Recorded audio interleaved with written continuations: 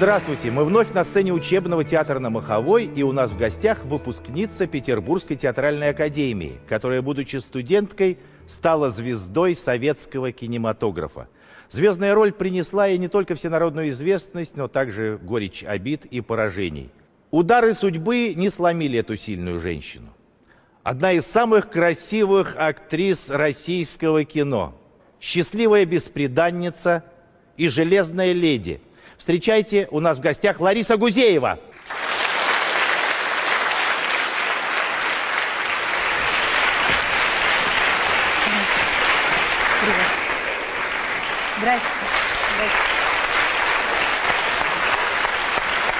Я сейчас стояла за кулисами, ждала своего выхода, и мне тряслась страшно. И я поняла, знаешь, я также нервничала, когда поступала. Вот такое ощущение, что э, у меня сейчас какой-то тур предстоит, или отборочный, или там последний уже. Вот так страшно, да, не думала, не думала. И что было на туре, кстати говоря? Правда ли вот такая легенда ходит про тебя, что ты обрилась наголо, чтобы не быть, не быть похожим на тех длинноногих красивых девчонок, которые поступали с тобой вместе, а ну, потом во-первых, красивее меня не было никого. Это И- понятно, это вообще никто не Да. Это даже никто не Поэтому обсуждает. Дело было не, не в том, чтобы прямо никого не походить на длинноногих там и так далее. Нет, ну я была в студенческом билете, кстати. Ну не совсем на лысо, но волосы длинные свои, да, состригла практически. А зачем была. такой эпатаж сумасшедший? А Вообще я вот не могу понять, я тоже сегодня ехала и думала, вот я вспоминала те годы, хотя я не люблю вспоминать прошлую жизнь, А, вот я думала, почему же мне так хотелось быть плохой девочкой? Вот мне хотелось быть плохой, Андрюш. Потому что я из приличной семьи, из учительской. Я не могу понять, почему мне хотелось всю э, вот молодость производить впечатление плох- плохой девочки. Вот типа полюбите меня вот такую плохую. Мне вообще кажется, что молодость это вот такой от- отрезок у, э, возрастной э, у очень многих, когда все в каких-то масках, вот такие все ненатуральные. Вот самый фальши- фальшивый период, мне кажется, лет до 25. Потому что я помню, я все время изображала что-то из себя, и чаще всего это была какая-то гадость. Вот я уже помню, училась в институте, жутко захотела выпить одна. Я пришла в ресторан, и мне э, как-то было стыдно, ну что это я вдруг молодая девушка сяду и закажу водки. И я заказала водки, подошла официантка, и я говорю, «Вы знаете, у меня умер ребенок. И заплакала. С чего вдруг? А потом выпила я и забыла причину, в какой я пришла. И развеселилась так. И думаю, что они с ужасом выстроили все сколько и смотрят на меня с каким-то ужасом. И я думаю, а, вот дура какая. Почему э, вдруг возник театральный э, институт? Ты знаешь, вот я, я еще раз говорю, что я э, вот всю юность, ну я и, и в детстве, наверное, тоже, я что-то все время из себя изображала. И в какой-то период я наизображалась так, что стала себя на- ловить на мысли, что мне стыдно перед людьми и неловко. Вот, э, вот эта грань, когда ты фантазируешь и врешь, я поняла, что она стала стираться. То я вдруг себе изображала, что я полька почему-то, то глухонемая. Вот э, в жизни, да. Вдруг ко мне там подходили, спрашивали, который час, а я Почему? Я поняла, что этот э, нужен какой-то выход. Я просто стала такая врушка. Кто тебя воспитывал и как ты росла? Понимаешь, эм, это сегодня, наверное, мы эм, очень много уделяем времени детям, и, как, как говорят мои дети, много паримся над их воспитанием.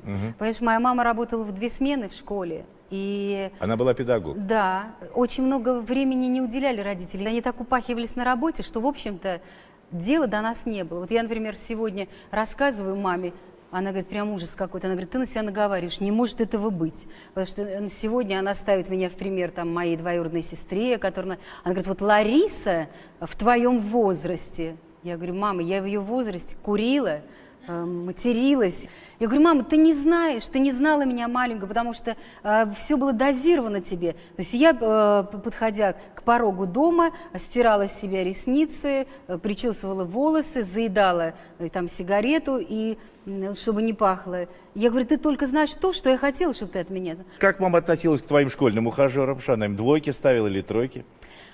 А вот ты знаешь, э, я же на Урале росла. Я э, была нелюбима мальчиками. Потому что я была, сейчас, наверное, трудно поверить, глядя на меня, но я в институт поступала, весила 45 килограмм. А в 10 класс я заканчивала, я весила килограмм 38.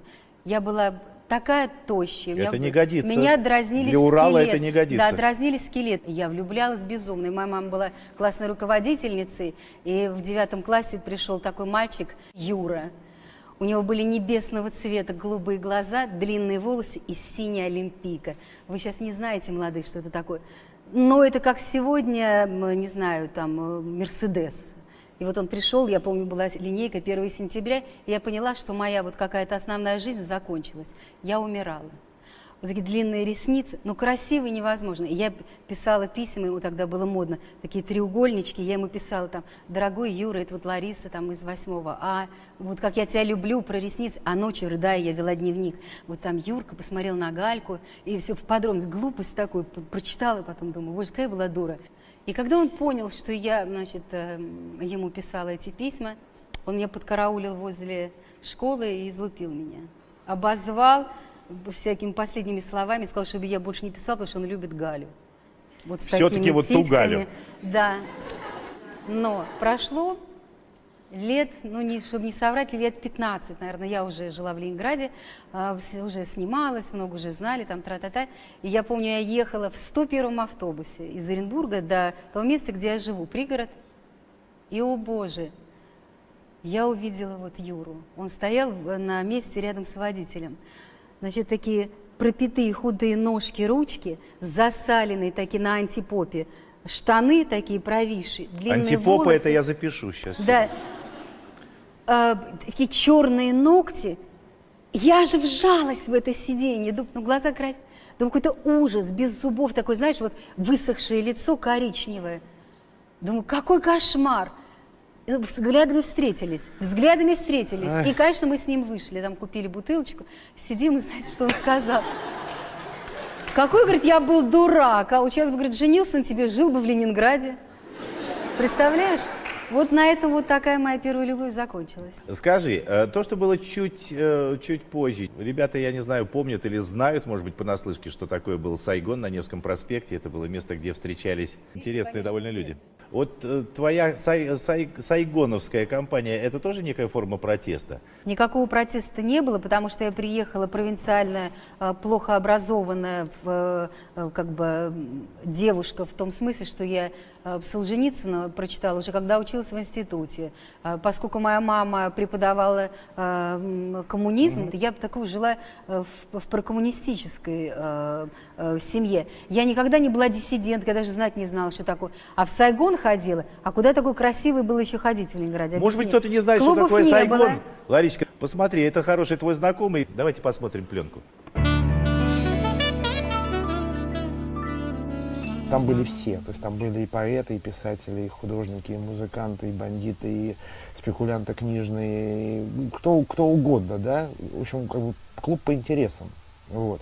И, соответственно, заходя туда, вглядываясь вдаль там или вблизь, э, я кого-то замечал, там, будь там Гребещуков, там, Курехин, там, и- или, кто, или кто-то с ними, да, там, так далее, так далее. И, соответственно, э, происходили определенные знакомства. Тогда, когда мы встречались в Сайгоне, да, не было ни дисков, ни материала о группах каких-то, да, вообще ничего не было. Мы все это вырывали из ровесников с каких-то, слушали BBC, там, да, э, еще что-то такое делали, да, ходили на толкучки, нас связали за спекуляцию, да. Сейчас все есть, короче говоря, а тогда ничего не было. Вот и все. И поэтому все жадно все ловили. И воздух ловили, и вызов делали, булавку нацепишь, я панк, все, и за нее вязали тоже. Если ты не остановишься, как я, допустим, да, конкретно, я пил достаточно сильно и достаточно много, вот, я бы давно, бы, меня бы не было бы, понимаете? И вот те люди, которых нет, а- они, в общем, и ушли. Вот, а которые остались, а они с этим делом прекратили и с алкоголем, и с наркотиком. Потому что поняли, что жить-то вроде бы хочется. Но вы знаете, что вам хочу сказать? А, вообще было принято быть образованным. А, во-первых, у всех было университетское или институтское образование, кто там был. Тот же Курехин, тот же Борис Гребенщиков, по-моему, у него математический был факультет или физический. Вообще модно было быть умным, образованным, много читать, Потому что говорили именно об этом. Конечно, были и наркотики, конечно, был портвейн, а все это было. Но если ты был глупый, или там такие девочки-однодневки, которых даже было дурным тоном привести познакомить, э, ввести как бы в это общество. Потом в музее Достоевского, допустим, э, ну, диссиденты тогда, писатели, читали свои произведения, которые нельзя было напечатать. То есть, э, в общем-то, там были интеллектуалы, талантливые люди собирались. Но ни у кого из тех людей, которые собирались, писали, играли, а, разговаривали, в голову не могло прийти такое определение страны. Вот сейчас во мне не, не вот этот патриотизм. А, никому в голову не могло прийти а, обозвать страну, в которой мы жили, совок. Я ненавижу это определение. Никогда ни от Гребенщикова, ни от Курехина покойного, ни от кого- никогда. То есть настолько презиралась эта власть, что о ней вообще говорить было ниже достоинства. То есть писали о чем угодно, играли что угодно, играли, ам, слушали западную музыку очень сильную. Genesis, Yes, Led Zeppelin, все это, все это знали, слушали. Но никогда не злобствовали, никогда не проходились, потому что были, и потому что были все выше. А никто как сегодня не бил себя в грудь и не кричал, типа, долой там и так далее, все. Все было более талантливо обставлено. То есть они своим творчеством показывали, что они не здесь. То есть они, мне кажется, что если бы родились и жили в Америке, э, то они бы были и над той властью, над всем этим бытом, над всей этой пошлостью, потому что более всего, допустим, они презирали пошлость, косность ума, стереотипы э, и так далее. Но это был такой интеллектуальный протест, потому что люди имели такую основу, они так много знали, они так много, с ним было так интересно.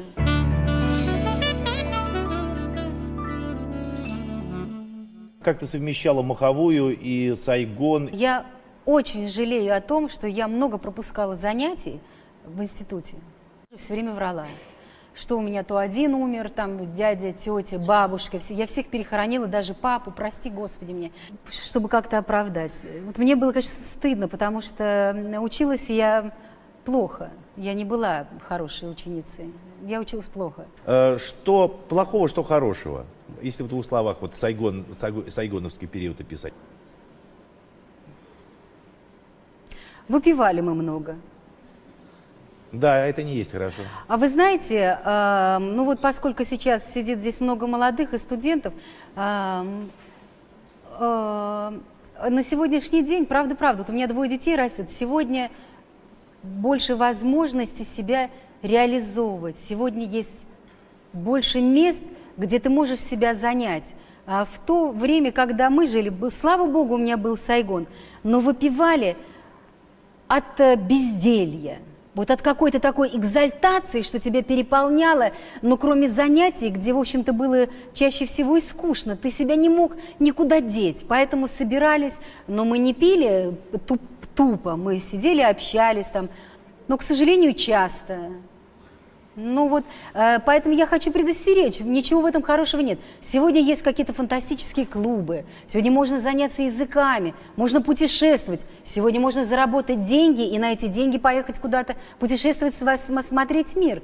А когда мы были с тобой молодыми, ну, заработал ты и пропил. Делать было нечего. Вот я считаю, что это было плохое. Ну, хорошо, что я не сломалась, хорошо, что я выжила. Но я вам могу, э, пальцев не хватит на руках и ногах, э, перечислить тех, кто сломался, будучи студентами этого же института, и которые подавали э, замечательные надежды. Это меня Бог просто, наверное, сказать, что такую дуру, да я ее спасу, да я ей не дам, э, не знаю, погибнуть. Мы перейдем сейчас к, э, к твоей звездной роли. Являлась ли тогда эта роль некой спасительницей для тебя?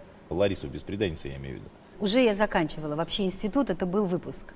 Мы играли спектакль, и я знала, что у меня уже были одни пробы в Москве, и Рязанов приехал с Алисовым, с, оператором на «Фан-фан Тюльпан», где меня сняли с главной роли за прогулы и ну, за то, что я бездарно это делала, не знаю.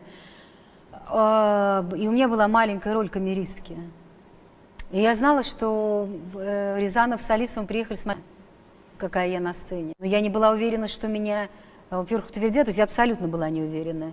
И наши девочки-отличницы, которые играли главные роли, все время мне подкалывали, говорили, ну иди, Гузя, вдруг тебя увидят и возьмут. Я это тоже помню, я все помню. Когда уже эта картина снималась, и она заканчивалась, я думала, ну слава богу. И я так радовалась, дурочка, под банкете, посвященной последнему съемочному дню. И мудрая Нина, Нина э, Скубина, жена Рязанова, сказала, дурочка, что ж ты так радуешься? У тебя никогда в жизни больше не будет такой роли, ты понимаешь это? Никогда. А я радовалась, но по молодости, по идиотизму думаешь, э, что теперь у тебя ну, всегда дальше Анна Каренина, Настасья Филипповна, там и так далее, по нарастающей. А на пробу ты пришла в рваных джинсах. В рваных джинсах курила беломор, с длинными волосами, у меня были вплетены деньги в волосы. И Рязанов сказал, ну вот же пришла Лариса. Нет, Вот. он меня в таком беспределе не видел, но видел уже после, э, после пробы, когда я зашла к нему в кабинет, и я была в тех же самых джинсах ужасных, в майке, была худая, как собака. Он сказал, тебе надо поправиться, надо поправиться. Поправилась? Отправили меня к маме, но я как не в себя все это ела, но сгорала, я же была такой нервной девочкой.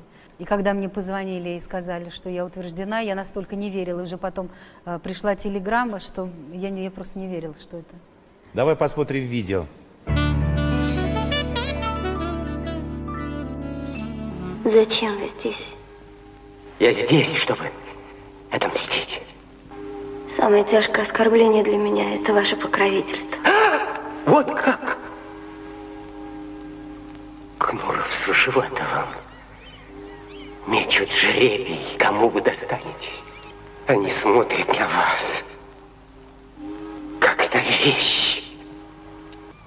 Я вещь. Наконец-то слово для меня найдено. Я вещь, я не человек. Уходите. Каждая вещь должна иметь своего хозяина.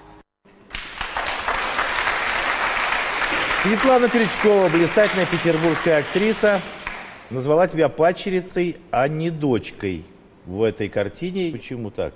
Мама мне в каждом письме писала. Главное всех слушаться. Вот, быть хорошей девой, всех слушаться. Ну, что я знал тогда о кино? Для меня хлопушка, которая хлопала, была начальница. Э, Ну, все. Я помню, когда ко мне пришел второй режиссер, или старше меня, годя- годясь мне в отцы, и начинал мне рассказывать, какая я должна быть беспреданница. Я сидела, бледнела, рыдала, извинялась все время. И да извинялась до тех пор, пока я не собрала чемодан и решила уехать просто. Никита Михалков мне в лифте сказал, ну и кому ты что докажешь? Я говорю, я так больше не могу. То есть, когда у меня лопнуло терпение, я не понимала, я не ориентировалась, потому что у меня не было даже эпизода в кино работы. Знаете, как сегодня вдруг ты снимаешься у Спилберга, и, и с тобой Николсон, Мэрил Стрип и так далее, ты все равно потеряешься. Это было естественно, что я потерялась среди них. Конечно, А почему ты потерялся? Я не я потерял. стеснялась. Вот были сцены, когда я вдруг тупела, смотрела в пол, как баран, и не могла сдвинуться.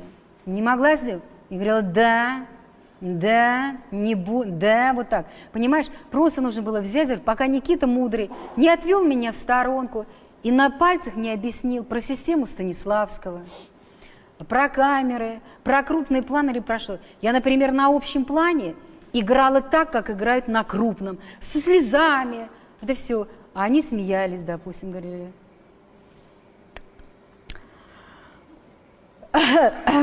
Вот такое делали, понимаешь? А я прямо вот губы дрожат, и я же вся нервная. Потом а, не надо забывать, что Лариса Беспредельная совершенно не я. Я по-другому ходила, я по-другому двигалась, я могла ударить, допустим, в жизни. И играть совсем не себя, а вот такую, такую вот трепетную девушку. Это был характер, который я а, придумала, и я это играла. Понимаешь? Но были сцены, когда мне нужно было потихонечку сказать, ну не переживай. А не стоять вот так. Долго еще ждать, понимаешь? А, Я говорила, долго. Ну, в общем, надо было немножко э, поласкивее, что ли, или как-то мне сказать, не бойся, ты хорошо это сделаешь. Рязанов, ты сам руководил этим процессом? Бесконечно благодарна Ильдару Александровичу, бесконечно. Я все время говорю, мама дала мне имя, а Рязанов фамилию. Потому что если бы не было жестокого романса, допустим, был второй мой фильм «Соперницы», то он бы был моим первым и единственным, потому что это был беспредел. Я благословляю небо, я благословляю Рязанова, что он меня взял на эту роль, что я сыграла. Вот этот удар по голове славой, популярностью когда все это льется на тебя? Помимо потоков брани со стороны критики, народная любовь-то была да, да, сумасшедшая. да. Значит, первый, самый первый день, когда я пришла сдавать там какие-то, что просто не в общежитии, там что-то такое, чтобы получить диплом, значит, висела огромная моя фотография там, где рюмочные, куда мы бегали, на, на Маховой. Бегали, бегали. Висела моя фотография из жестокого романа. Значит, у меня были нарисованы вот так вот слезы в, э, карандашом, а, черные зубы вот так вот были два, и папиросы нарисована была. Ну, я не скажу, что еще было написано. Думаю, а, а, Написано, э, курение вредит вашему да. здоровью. Вот. И потом, а, ну и потом, знаешь, никто же не хвалил, все так говорили. За что этой пик-пик? Все с ее манерами, за что и это. Я Ну, так это и есть слава, Много лет слышала, за что и все. Вы видели, как она ходит? А вы слышите, как она разговаривает? За что ей это? За что ей? Критика оценивала негативно многие какие-то позиции твоей роли. Да, тогда же, кроме Никиты Михалкова, в э, советском экране никто за меня не заступился. Всем хотелось какой-то игры необыкновенной. Почему меня нужно было спра- сравнивать с Комиссаржевской, с Алисовой? Ну, не знаю, не хочу. Скажи, как ты сама оцениваешь эту работу свою? Конечно, есть куски, где я сейчас смотрю, естественно. У меня же здоровый человек психически. У меня же нет этой э, дури сидеть на себя и прям... э, Я понимаю, что думаю, как я здесь правильно существую. Вот как правильно. А вот здесь, думаю, боже, глаза мои не глядели. Просто какой-то кошмар. Думаю, что за танец? Думаю, просто идиотка какая. Что я с лицом здесь делаю? Что я здесь хлопочу так? Конечно, если бы это была хотя бы моя вторая роль.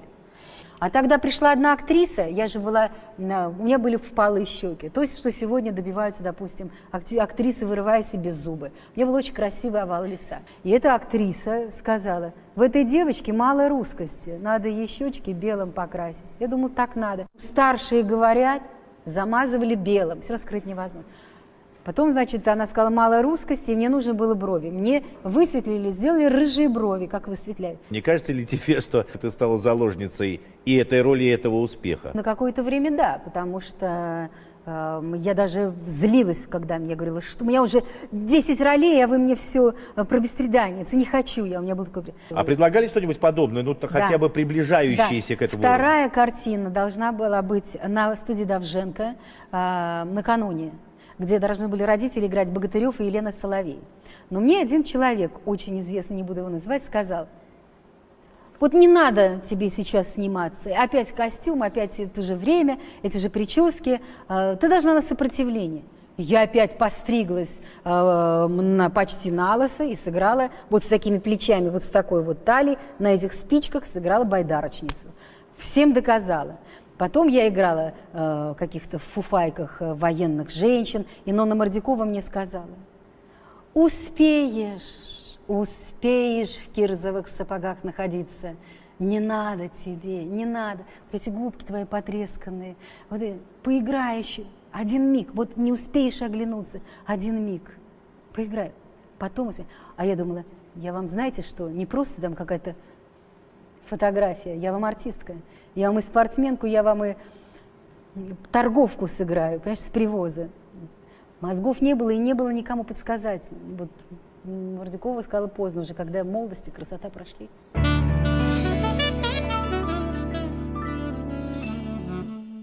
Давай посмотрим какое-нибудь радостное видео про тебя, может быть, тебе будет приятно. Самое интересное, что мы с Ларисой познакомились в период ее жизни, когда она была на пике популярности. Это, естественно, было время после жестокого романса, когда ее узнавали на улицах. И, собственно говоря, она была героиней. Не забывайте, это девочка, которая приехала из Сибири. Она приехала в большой город, э, в культурную столицу. И в этой культурной столице ее никто не ждал. И она, безусловно, начинала свою деятельность еще, насколько я помню, когда она училась э, в институте, в театральном. Она жила в общежитии, условия... А после славы, которая на нее обрушилась неожиданно, ничего не поменялось.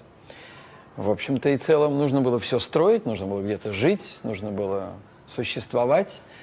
И я э, видел это своими глазами. Она не чуралась никакой работы на Ленфильме. Это было время такого телефонного права. Это было время, когда по звонку э, можно было решить массу проблем, но не только проблем житейского характера, но вплоть до получения ролей или утверждения в кинематографе как э, актрисы, личности и так далее. Но надо отдать должное, что Лариса могла воспользоваться этим неоднократно, однако этого никогда не происходило. Все в своей жизни она добивалась сама.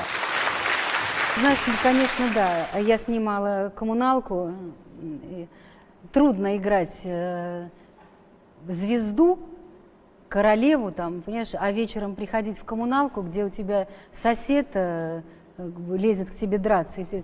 И потом приходит э, хозяйка этой комнаты со словами, ну что, артистка, а я вот сейчас во- возьму и пик-пик тебя из этой комнаты, понимаешь, на ночь глядя. И вот она это, меня так-таки вы, пик-пик из этой комнаты. И Наравлянский мне сказал, «А, приходи к, к нам жить. И поскольку мне некуда было возвращаться, я много очень снималась, чтобы, потому что когда снимаешься, предоставляют гостиницы. И никто об этом не знал. Я всегда врала, я всегда была, одевалась хорошо.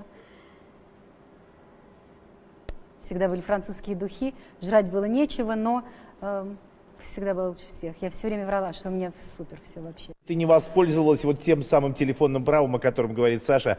э, Никогда, нет. то есть Притом- позвонить, сказать, Нет, «Здравствуйте, я мало того, Гузеева». нет, меня возили зато за границу очень много. Я объездила весь земной шар. Значит, у меня были 5 долларов суточные.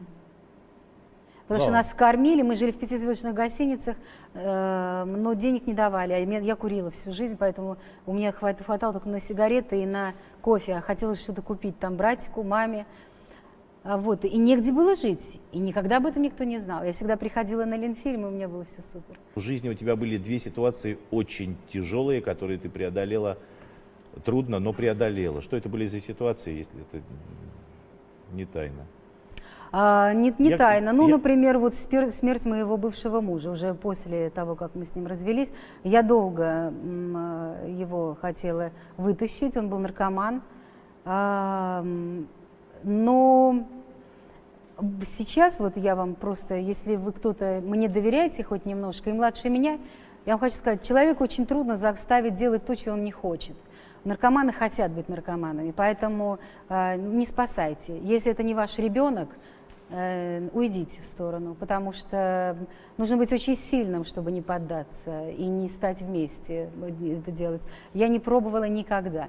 Никогда в жизни. Я выливала, выбрасывала, лечила. Но это надо иметь такой характер, как у меня. У меня не получалось. Много лет я пыталась, и, потому что это был замечательный человек, но им нравится быть наркоманом. Это все ерунда, когда они вопрошают там. Я «Э, понимаю, ты меня ты говоришь. должна терпеть то, что я болен. Нет, им в кайф. Это называется кайф. Им это нравится. Поэтому, Боже, вас сохрани. Если где-то такая ситуация, и вы молодые, проживайте свою собственную жизнь.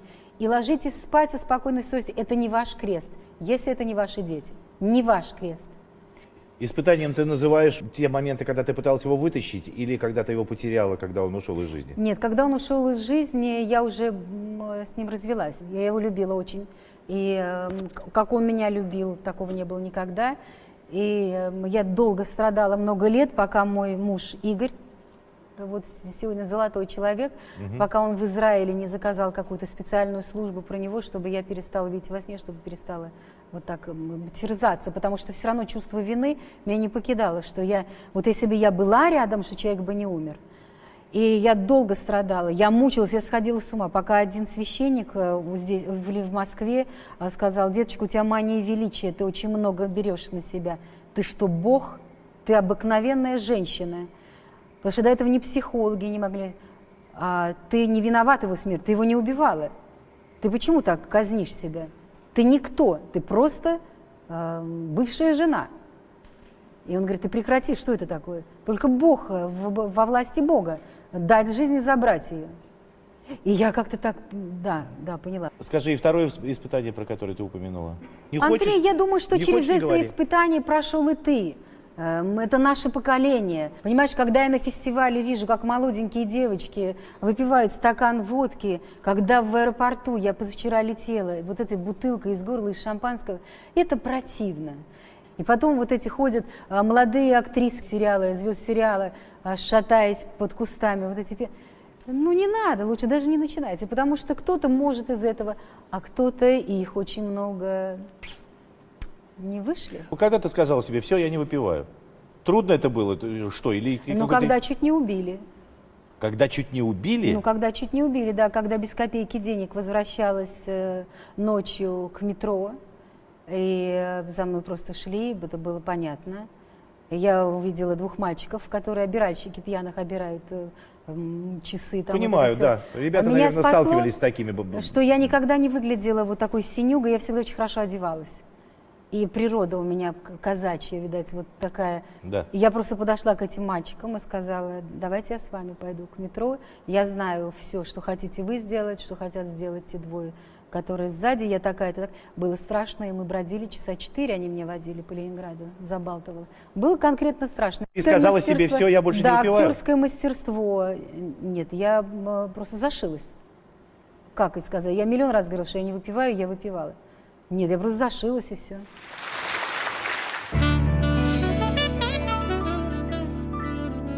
Давайте мы познакомим нашу аудиторию с твоим мужем, Вы Лариса. что, его сняли? А как я мог выбирать? Между кем и кем? Первая красавица страны. Вот это дали добро, я побежал. Так что тут как-то это все зависело от нее. Это с моей стороны только предложение было, а это выбирала она. То есть такие женщины сами выбирают себе мужей. Когда-то мы а, поехали а, в Израиль, и, и, значит, мы поднимались на Храмовую гору. Она сказала, что там очень хотела бы девочку. Я сказал, я тоже очень хочу девочку. И очень бы хотел бы увидеть э, Ларису маленькую, потому что я никогда не... Ну, фотографии, они же ничего не дают. Знаете, как ни странно, это вот точная копия. Э, По, по фотографиям сравниваешь, по поведению, ну, по всему. Вот, вот то, что я мечтал, я как бы четко сегодня вижу. Ребенка мы с ней родили, дерево посадили, дом построили. Все хорошо. Ты познакомилась со своим будущим мужем, когда тебе было 18, А ему 17. а ему 17. А по брак в законный вы вступили, Когда мне было ну хорошо. 39. То есть через довольно большой промежуток Да. времени. А что тянули-то? Кто такой? Фу, мальчик. Анекдот тогда был популярен. Нравится? Копи деньги. Ну как так было, мне казалось, кто он и кто я вообще, где он и где я.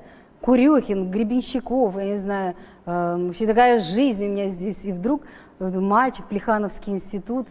Это я потом только сообразила, что он умнее меня в триллион раз. Энциклопедические знания, умница, золотой человек. А тогда я думала, боже.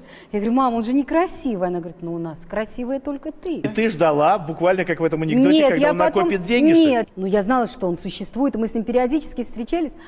Но я прям одолжение делала. Вот. Это ты делала, а сейчас что происходит, да. скажи. А сейчас, правда, вот без любви ведь без такой выходила замуж, честно говоря. А сейчас краше нет, лучше нет.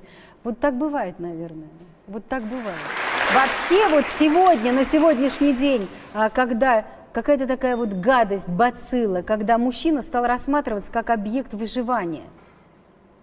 А, Я тоже была порядочная сволочь до тех пор, пока не родила ребенка. Для меня а, мужчина просто, не я вытирала ноги, мне вообще ни жалко не было, никак. Я не, не влюблялась, думаю, боже мой, какой, ой, ну на, ну давай. пап». Ой. А, Понимаешь, не вытирала ноги, пока я не родила ребенка. И как только я родила мальчика, я поняла, что мужчины тоже люди, оказывается. Вот просто им бывает больно, их бывает жалко, они также страдают. И ты знаешь, я тебе Спасибо хочу большое. Как только я родила сына, у меня все перевернулось э, с, с головы на ноги. Я стала наоборот э, мужчин жалеть. И мужчин жалеть, и понимать, и женщин. И сегодня, когда женщины выходят замуж, чтобы выжить, и они считают, что им только по факту их рождения мужчина обязан построить, купить, дать, содержать, э, дрожать на ним. Я так не считаю. Мне мужа жалко. Вот я ему говорю, хватит работать, не упахивайся. Мне его жалко. Не хочу быть богатой вдовой, хочу пусть отдыхает. Давай ответим на э, записки, которые тебе Сейчас. написали. Лариса, есть ли у вас собственный рецепт преодоления трудностей? Хороший вопрос. Вот я, кстати, детей так воспитываю. Во-первых, нужно сосредоточиться и разложить ситуацию, вот как драматург, вот, потому что другого нет. Я самый легкий выпить. на какое-то время, это действительно думаешь, ха, ха, фигня. Но не помогает это. Рыдать мне трудно, я так могу только над фильмом «Пару слезинок» не умею. К сожалению, такая психофизика, не могу плакать. К сожалению, не могу вот так по бабе разрыдаться и потом вот это все. Не могу. Вот просто садишься и рисуешь. Вот это твой враг Вася. Вот это я. Вот из ситуации прожилась, произошла из-за этого. Все, что касается, касается денег, карьеры, выгнали с работы. Ищите причину человека, который в этом, вообще причина, и просто раскладывайте. И, по ним, и раскладывайте, как бы вы посоветовали другому человеку вести себя. Вот действие. Вот нужно какое-то действие. И все. В любом случае не, не лежать, не страдать. Верите ли вы в судьбу? От чего зависит житейская сказка со счастливым концом? Верю в судьбу верю. Вот вы знаете, мне до сих пор кажется, что, а, во-первых, я никогда не ломилась ни в одну закрытую дверь. Вот если дверь закрытая, думаю, ну и не надо, будет другое. Но мало того, я вывела формулу счастья. Я всегда любила то, что имела. Вот у меня была комната в коммуналке, я считала, что это лучшая комната на земном шаре. Клянусь, никогда не завидовала и думала, вот это мое, я всегда любила свое. Я люблю этого мужа, я люблю этого маму. Никогда не надо смотреть, у кого-то красивее, худее, богаче, дом там э, роскошнее, дети отличники. Надо любить вот то, что у тебя вот есть сегодня, и ты будешь в кайфе. Я искренне это люблю, правда, правда.